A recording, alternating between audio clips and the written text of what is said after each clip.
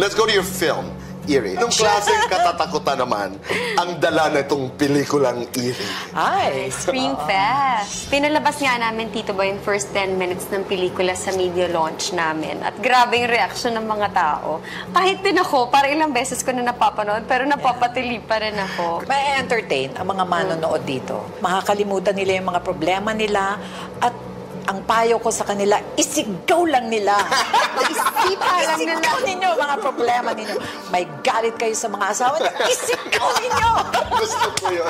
Pwede ka ring maniko at sumipa. Kasama yan sa experience ng panonood ng Eerie. How was it working with exciting uh, Mikhail Red?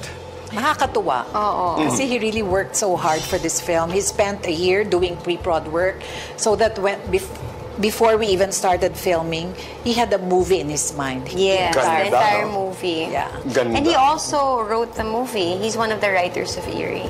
Yun ang so he no? knows Yung his material vision. very well. Siya nagtitimon. Yes. Kailan natin mapapanood ang pelikulang ito? Malapit na sa March 27 na.